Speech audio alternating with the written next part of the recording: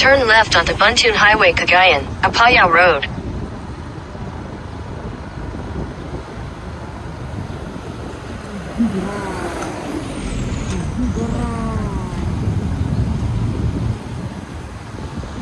Continue on Santiago to Gegarao Road for 5 kilometers.